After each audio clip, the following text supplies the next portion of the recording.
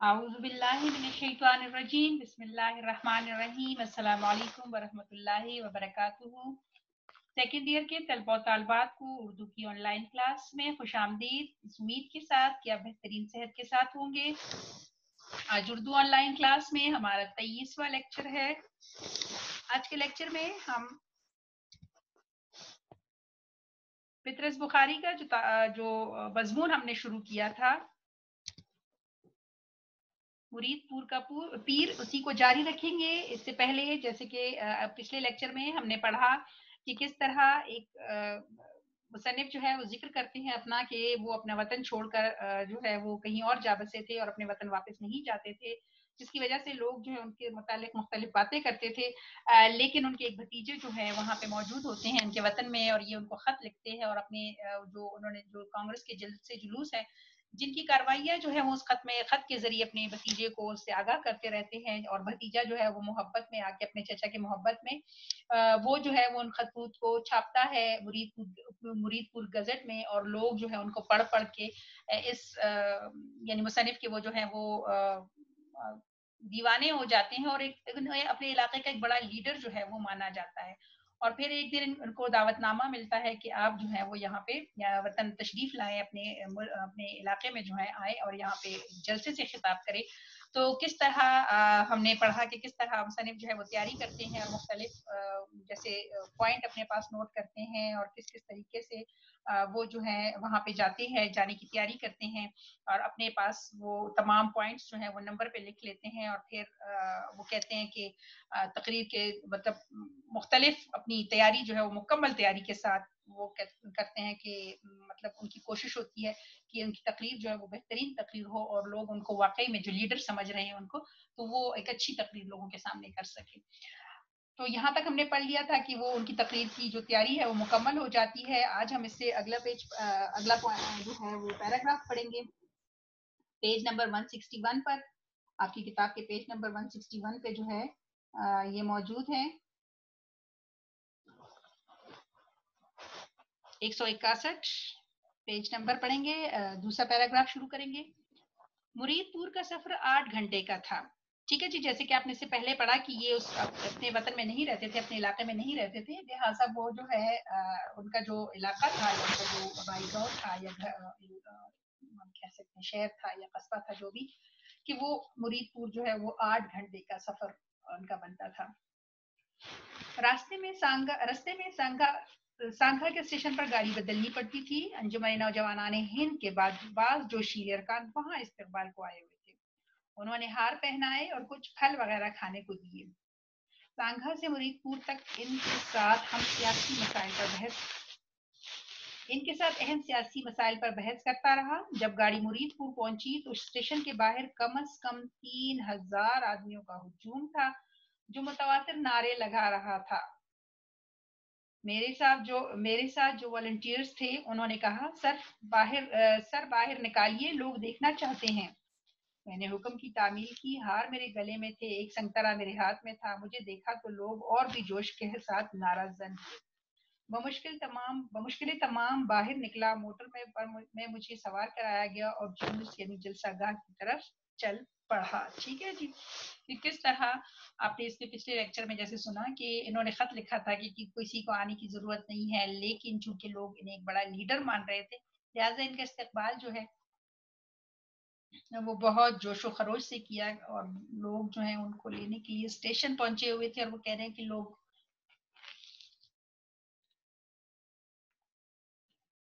लोगों जब मुझे देखते थे तो और ज़्यादा जोश से नारे लगाते थे।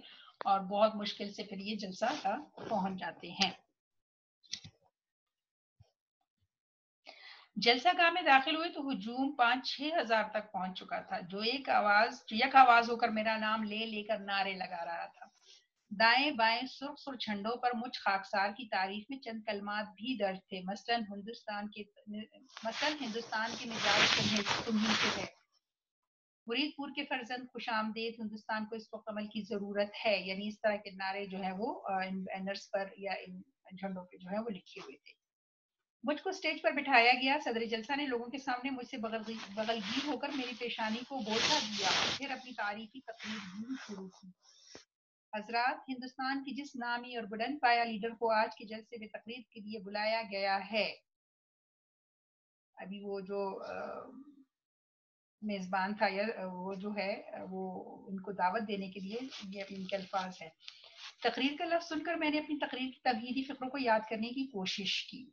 लेकिन इस वक्त जहन इस कदर मुख्तलिफ़ तासरात की अमाजगाह बना हुआ था कि नोट देखने, के नोट देखने की ज़रूरत पड़ी। यानी वो जो लिखा हुआ जो उन्होंने अपने पास जो पॉइंट्स लिखे हुए थे, उनको याद आया कि इनको, उनको एक दफ़ा तकरीर से पहले उनको एक दफ़ा देख लूँ जो मैं अपने पास नोट करके आया हूँ, जो मेरे पास कागज़ था।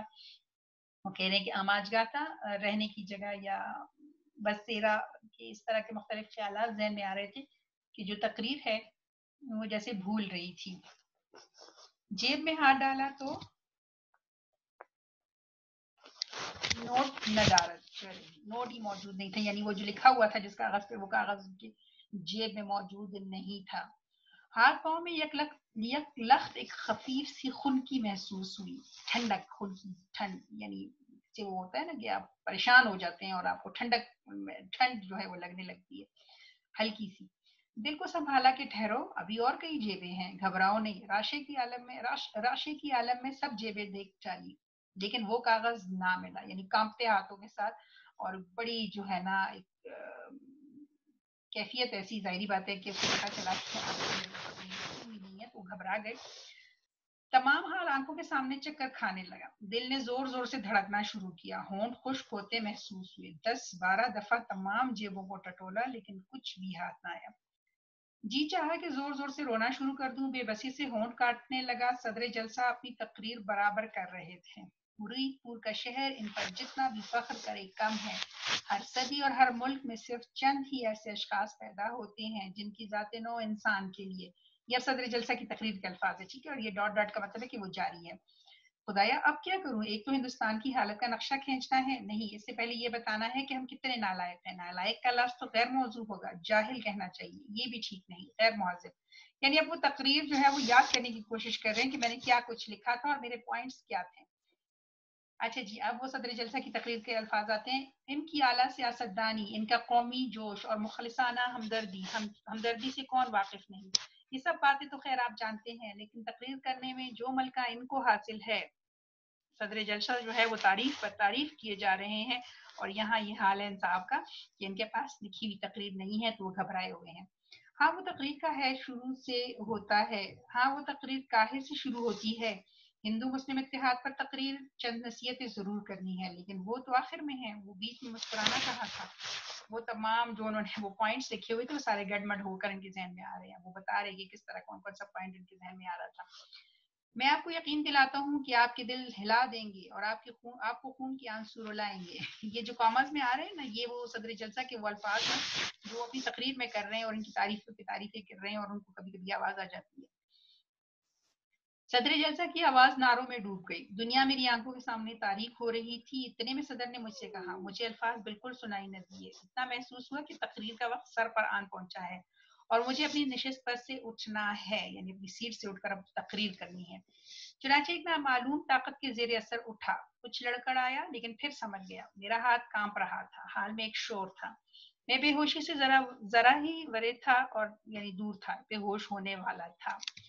और नारों की गूंज इन लहरों की शोर की तरह सुनाई दे रही थी, जो डूबते हुए इंसान के सर पर से ही गुजर रही हूँ। यानी ऐसा लग रहा था कि जैसे मैं डूब रहा हूँ और पानी की लहरें जो है, वो जो शोर है मुझे लहरें लहरों का शोर मालूम हो रहा था। तकरीर शुरू कहाँ से होती है? लीडों की खुद गर्जी भी ज़रूर बयान करनी है। और क्या कहना है? एक कहानी भी थी, बगले और लूमड़ी की कहानी। नहीं नहीं, ठीक नहीं ठीक है। दो बैल। अच्छा वो तमाम पॉइंट्स उनको जहन में वो सोच रहे कि क्या करना है। इतने में हाल में सन्नाटा छा गया, बिल्कुल खामोशी। लोग सब मेरी तरफ़ देख रहे थे। मैंने अपनी आँखें बंद कर ली और सहारे के लिए मेज को पकड़ लिया। मेरा दूसरा हाथ भी काँप रहा था। वो भी मैंने मेज पर रख दिया। इस वक्त ऐसा मालूम हो रहा था जैसे मेज भागने को है और मैं इसे रोके खड़ा हूँ। मैंने आँखें खोली और मुस्कुराने की कोशिश की। गला खुश था बसद मुश्किल मैंने कहा, बहुत मुश्किल से बसद मुश्किल, हज़ार मुश्किल से ये बहुत ज़्यादा मुश्किल प्यारे हम वतनों प्यारे हम वतनों आवाज़ खिलाफ खिलाफ तो बहुत ही बारीक और मीठनी सी निकली। एक दो शख्स हंस दिए। मैंने गले को साफ़ किया तो वो और कुछ लोग हंस पड़े। मैंने जी कड़ा कड़ा कर के ज़ोर से बोलना शुरू किया। फेफड़ों पर लफ जो दबाव डाला तो आवाज़ बहुत ही बुलंद निकली, निकल आई। इस पर बहुत से लोग खिलखिलाकर हंस पड़े। हँसी तभी तो मैंने कहा, प्यारे हम वतनों इसके बाद जरा दम लिया और फिर कहा, प्यारे हम वतनों कुछ याद ना आया कि इसके बाद क्या कहना है। बीसियों बातें दिमाग में चक्कर लगा रही थी, लेकिन जबान तक एक ना आती थी। प्यारे हम वतनों, अब के लोगों की हँसी से से मैं भिन्न आ गया, यानी मुझे गुस्सा आ गया। अपनी तोहिन पर बड़ा गुस्सा आया। इरादा किया कि इस दफ़ा जो मुँह में आया कह दूँगा। एक दफ़ा तकरीर शुरू कर दूँ तो फिर कोई मुश्किल ना रहेगी ये उस शख्स का हाल है जिसको तकरीर याद नहीं है और जिसको लोग लीडर समझ रहे हैं। अच्छा जी। प्यारे हम वतनों, बाज लोग कहते हैं कि हिंदुस्तान की आबो हवा खराब, यानी ऐसी है कि हिंदुस्तान में बहुत से नुक्स हैं। समझे आप? वक्फा नुक्स हैं। लेकिन ये बात, यानी अमर जिसकी तरफ़ मैंने इशारा किया, गोरा, गोया चंदा सही नहीं। तहका लगा आवाज़ आई हंसने। आवाज़ मुअत्तल हो रहे थे, समझ में ना आता था कि आखिर तकरीर का सिलसिला क्या था। यकलक बैलों की कहानी याद आई और रास्ता कुछ साफ़ होता दिखाई दिया। हाँ तो बात दरअसल ये है कि एक जगह दो बैल इकट्ठे रहते थे, जो बावजूद आबो हवा और गैर मुल्की हुकूमत के ज़ोर से कहकहा की आवाज़ आती है। यहाँ तक पहुँच कर महसूस किया कि कलाम कुछ बेरब सा हो रहा है, मैंने कहा, चलो वो लकड़ी की घट्टे की कहानी शुरू कर दें। मसलन आप लकड़ियों के घट्टे को लीजिए, लकड़ियाँ अक्सर महँगी मिलती है। वजह यही है कि हिंदुस्तान में अफलास बहुत है, गोया चूँकि अक्सर गरीब है, इसलिए गोया लकड़ियों का घट्टा यानी आप देखिए ना कि अगर बुलंद और तवील हजरात, अगर आपने अकल से काम न लिया तो आपकी कौम फना हो जाएगी। नहूसत मंडला रही है कहकहे और शोरों गोगा आप ऐसे बाहर निकालो, हम नहीं सुनते। ये जो आवाज़ें आने लगी हैं ब्रैकेट में लिखा हुआ है मतलब बता रहे हैं कि लोग इस तरह की तकरीब सुनकर जो है उनका रद्दमल जो था, वो ये था। शेख सादी ने कहा है कि चवास को में ये बदानिशी करो। आवाज़ आई, क्या बकता है? खैर, इस बात को जाने दीजिए। बहरहाल, इस बात पर तो किसी को शोभा नहीं हो सकता कि, आ अंदलीप मिलके करे आ गुजारियाँ तू हाय गुल पुकार, मैं चिल्लाऊं, हाय दिल, ये एक शेर उनको याद आ गया। इस शेर ने दौरान खून को तेज कर दिया। साथ ही लोगों का शोर भी ज़्यादा हो गया। चुनाचे में बड़े जोश से बोलने लगा, जो कौमें इस वक्त बेदारी के आसमान पर चढ़ी हुई हैं, इनकी जिंदगियाँ लोगों के लिए शाहरा हैं और इनकी हुकूमतें चार दांग आलम की बुनियादें हिला रही हैं। लोगों का शोर और हँसी और भी बढ़ती गई। आपके लीडरों के कानों पर खुदगर्जी की पट्टी बंधी हुई कानों पर। दुनिया की तारीख इस बात की शायद है कि ज़िंदगी के वो तमाम शोबे, यानी अभी आगे बोल ही रहा हूँ कि लेकिन लोगों का गौफा कहते इतने बुलंद हो गए कि मैं अपनी आवाज़ भी ना सुन सकता था। अक्सर लोग उठ खड़े हुए थे और गला फाड़ फाड़ कर कह रहे थे, मैं सर से पाँव तक काँप रहा था हुजूम में से।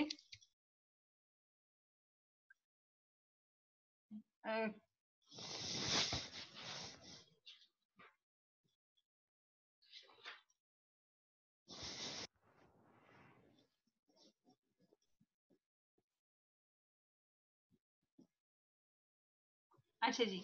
आ, के बाद चार पाँच कागज़ की गोलियाँ मेरे इर्द गिर्द स्टेज पर गिरी लेकिन मैंने अपनी तकरीर का सिलसिला जारी रखा। हुजूम में से चार पाँच कागज़ की गोलियाँ जो है वो बनाकर इनकी तरफ़ फेंकी गई यानी इनको मारने के लिए कि इसको हटाओ यहाँ से ये क्या बकवास कर रहा है या इसकी तकरीर जो है सारी बातें जिस तरह की तकरीर थी तो लोग गुस्से में आ गए थे। हजरात तुम याद रखो तुम तबाह हो जाओगे तुम दो बैल हो। लेकिन जब बुचार बढ़ती ही गई तो मैंने इस नामाकूल मजमे से किनारा कुशी किनारा कशी ही मुनासिब समझी, यानी यहाँ से दूर चले जाना जो है, मैंने समझा कि बेहतर है कि मैं यहाँ से दूर चला जाऊँ, क्योंकि लोगों का वो कह रहे हैं कि गुस्सा जो है वो ज़्यादा बढ़ गया था। स्टेज से फलांगा और जकमंद बर्ग के दरवाजे से वैसे बाहर का रुख किया।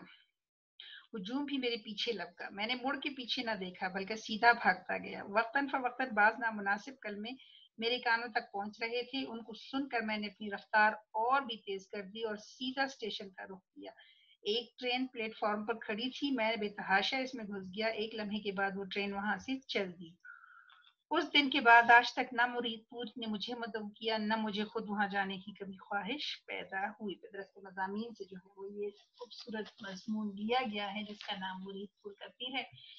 तो ये उस शख्स की कहानी जो बता रहे कि मैं अपने वतन क्यों नहीं जा रहा में इसके सफ़र में जो कुछ हुआ, वो इसने बयान कर दिया। अच्छा जी मश देख लेते हैं। मजामी के उसमें हमारे, यानी नसर के अगर हम उसमें कहें तो हमारा ये आखिरी सबक था।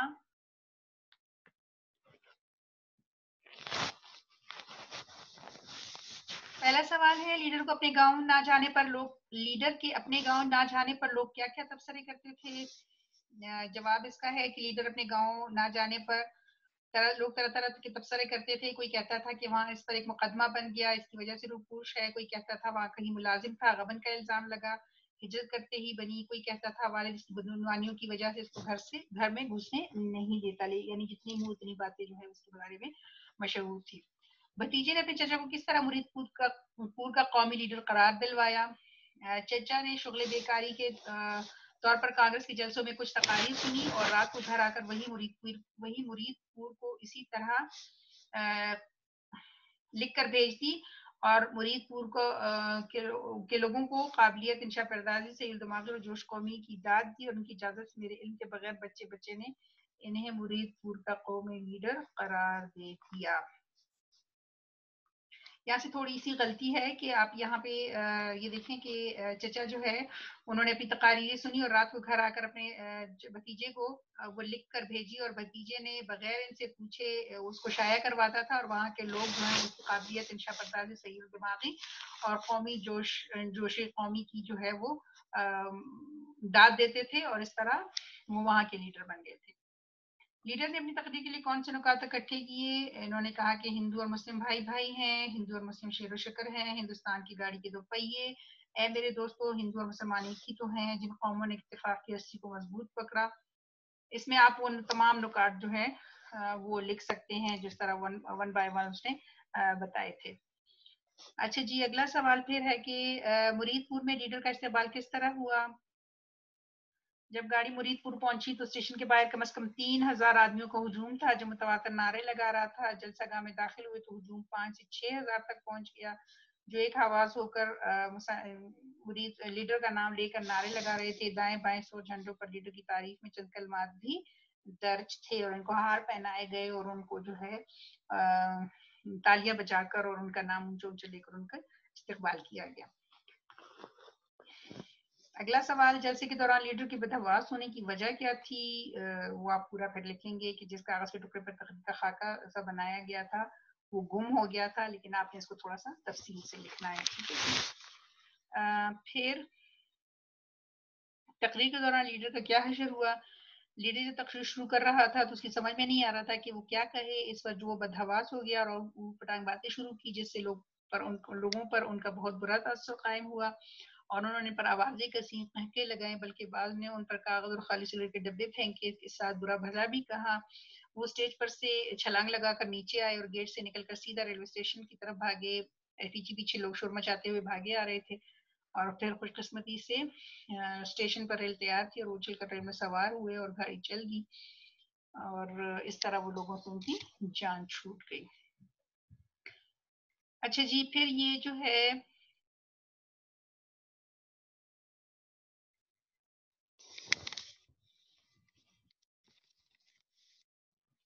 लीजिएगा। पूरा आपने करने हैं, आप अल्फाज ढूंढ लीजिएगा, जो जो अल्फाज यहाँ पे, आ रहे हैं, आपने वो करने हैं इसमें।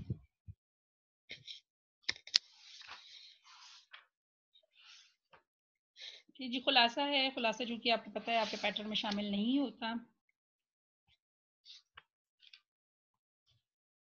इसके बाद जी सवाल नंबर चार आपका है कि इस मजमून से कम अज कम पाँच वसली जुमले तलाश करें? वसली जुमले वो होते हैं जिसमें एक जुमला दूसरे के साथ यानी मिलना, दो जुमले जब मिलते हैं और एक बात उसमें बयान कर दी जाती है तो हमारे पास वसली जुमले होते हैं। जैसे वो बड़ों की इज़्ज़त करता है और मैं इसके नज़दीक इल्म फन का देवता हूँ। मेरे भतीजे, मेरा हर, मेरे भतीजे मेरा हर खत अदब से पढ़ते, बल्कि दूसरों को भी सुनाते, दो जुमलों को मिलाया जाता है, ठीक है? वसली जुमला वो होते हैं, जो इसमें दो जुमलों को मिलाकर एक मुकम्मल जुमला बनाया जाता है। जिसमें से इसलिए चैप्टर में से आपने ऐसे जुमले ढूँढने हैं।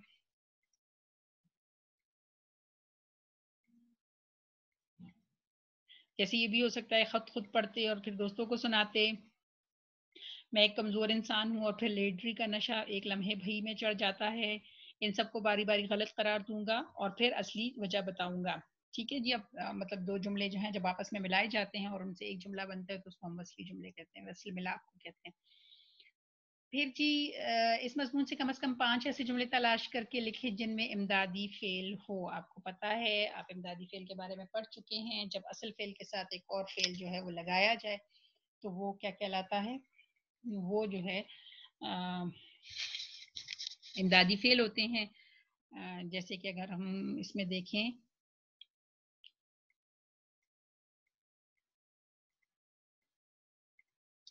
जैसे करना पड़ा करना और पड़ा जो है वो दोनों ही आ, मतलब दोनों ही काम है लेकिन इसमें एक इमदादी फेल होगा जो असल फेल के से पहले लगाया जाता है ठीक है? इमदादी फेल की तारीफ़ आप पढ़ चुके हो, इससे पहले कर चुके हो, इसलिए आपके लिए सवाल करना मुश्किल नहीं होना चाहिए। फिर सवाल नंबर पाँच आपका है सॉरी छः आपका है कि अल्फाज दर्जिल अल्फाज पर उनके मायने के मुताबिक कैराब लगाएँ। पहला है जल, इसके ऊपर जबर आएगा। फिर जुल, धोखे को कहते हैं जीम के ऊपर पेश आएगा। फिर दौर, जमाने को कहते हैं दौर और दूर, दाल के ऊपर पेश आएगा। फिर कसम, अहद करना। काफ के ऊपर जबर आएगा सीन मीन के भी। और फिर जो है वो किस्म है। किस्म काफ के नीचे जेर आएगा और सीन और मीन पे जज्म होगा। फिर जी आ, आ, पहला जो है वो है गिल। गाफ के नीचे जेर लगेगा और लाम पे मद होगा लाम पे जो है वो जज्म होगा। आ, फिर गुल। अगला गाफ के ऊपर पेश होगा। फिर मिन्नत। मीम के नीचे जेर लगेगा नून के ऊपर जबर होगा और ते पे जज्म होगा। इल्तिजा करना। और मन्नत, नियत या अहद करना। मीम के ऊपर जबर होगा, नून पे भी शद के साथ जबर होगा और तीन ते पे जो है फिर जज्म लगेगा।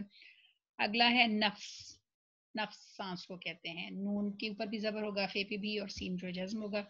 अगला है नफस। फिर मलका मलका जो है वो सलाहियत को कहते हैं और मलेका होगा। मीम के ऊपर जबर होगा, लेकिन लाम के नीचे जो है वो जेर लगेगा। फिर आपने किसी तकरीब या जलसी की रुदाद लिखनी है, जैसे कि आपको पता है पैटर्न में आपकी रुदाद शामिल है, कोई एक आपको रुदाद दी जा सकती है या कोई एक मुकालमा जो है वो आपको दिया जा सकता है, इस पर आपने लिखना होगा। नहीं, सॉरी, आपकी तो नहीं है तो फ़र्स्ट ईयर का नहीं, फ़र्स्ट ईयर में होता है, आप लोगों के रुदाद और मुकालमा आपके पैटर्न में शामिल नहीं है, सॉरी जी, आपका तो सेकेंड ईयर में आपके है, आप बीती और मजमून। इस मजमून में कम से कम पाँच ऐसे जुमले लिखे जिनमें के इस्तेमाल हुआ है, ये भी आप करेंगे। फिर जी, आपने गलत और दुरुस्त बताने हैं। मैं अपने वतन में जान, ना जाने की वजह से मशकूक हो गया था, दुरुस्त। मैं कांग्रेस के जलसे में जोक शौक से शरीक होता था, गलत। मेरे भतीजे ने तमाम खतूत नष्ट कर दिए, दुरुस्त। मुसनफ़ मुरीदपुर का रहने वाला था, दुरुस्त। मुरीदपुर के लोग मुसनफ़ से हजर करने लगे थे, गलत। मुतहद कौमें हिबा में अरूज हासिल करती हैं। सही हिंदू और मुसलमान दो अलग अलग कौमें हैं। सही सदर जलसा ने पुरतपा का इस्तेकाल किया। सही मुसनफ़ ने इंतहाई मौसर तकरीर की। गलत मुसनफ़ तकरीर ख़त्म की तो लोगों ने तारीफ़ शुरू कर दी। गलत। चलिए जी, अल्हम्दुलिल्लाह। मशक़ी हमारी मुकम्मल हो गई। जैसे कि आपको मैंने बताया, ये आपका आखिरी मजमून था नसर के पोर्शन में। हमारा नसर जो है वो अल्हम्दुलिल्लाह मुकम्मल हो गई है सारी नसर। अगले उसमें इनशाला जो थोड़ा बहुत हमारा कोर्स का रहता है गज़लें हैं, नज़में हैं, वो करेंगे। इन सवाल के जवाब कर लीजिएगा। जैसे कि पहले भी कहती हूँ, हर लेक्चर में कि आप ज़रूर एक से दो पैराग्राफ की तशरी इबारत किया करें। तशरी इबारत के लिए पैराग्राफ, इबारत लें और उसकी तशरी करें। अपना काम वक्त भी कीजिए, अपना बहुत सारा ख्याल रखें, हमें भी दुआओं में याद रखें। अल्लाह हाफिज़।